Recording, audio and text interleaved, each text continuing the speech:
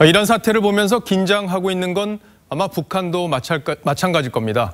아, 미군의 군 수뇌부 제거 작전이 성공한 이후 김정은 위원장의 공개 행보가 사라졌다는 걸 아마 눈치채셨을 겁니다.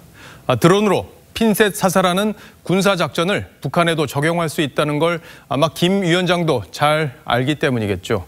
이 소식은 박재훈 기자가 보도하겠습니다. 북한은 미국이 이란 군부 실세를 제거한 데 대해 아직 공식 반응을 보이지 않고 있습니다. 앞서 지난 2017년엔 미군이 시리아 공군 기지를 공격했을 땐 외무성 담화로 비판했습니다. 소리아에 대한 미국의 이번 군사적 공격이 우리를 노린 그 무슨 경고성 행동이라고 떠들고 있는데 그에 놀랄 우리가 아니다. 북한으로선 드론을 통한 이번 작전을 더욱 심각하게 받아들일 수 있습니다. 정권 핵심을 겨냥한 2017년 참수작전과 유사하기 때문입니다.